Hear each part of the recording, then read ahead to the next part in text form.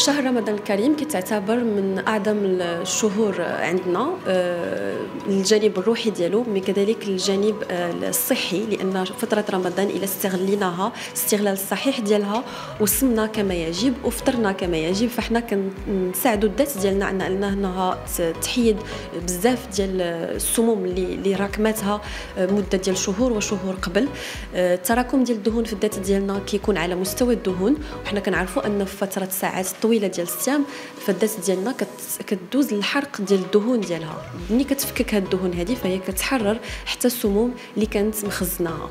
الفترة ديال الصيام كذلك كتعاون الذات ديالنا على أن الأعضاء ديالها يرتاحوا. هنا كنهضر خصوصا على العضو ديال البنكرياس اللي هو مسؤول على الإنتاج ديال الإنسولين وعلى آه، المستوى ديال السكر ديال الدم أنه يكون مقاد.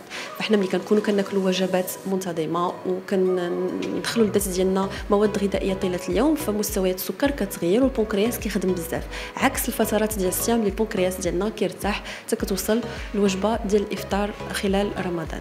آه كذلك الفترة ديال الصيام فهي فترة مهمة جدا اللي كتخلي الذات ديالنا تجدد بزاف ديال الخلايا ديالها اللي منهم الخلايا العصبية والتعزيز ديال الذاكرة والتعزيز ديال الجهاز العصبي ككل. الاخ المنافع ديال الصيام لا تعد ولا تحصى لذلك يجب أننا نستغلوا هذه الفترة ديال ديال رمضان والفترة ديال الصيام باش التغذية ديالنا تكون سليمة ومتوازنه باش أننا نوصلوا للتحقيق ديال هاد الأشياء اللي هضرت عليها قبل بالنسبة للفوائد ديال الصيام على الجهاز الهضمي وعلى الجسم ديال الإنسان ككل.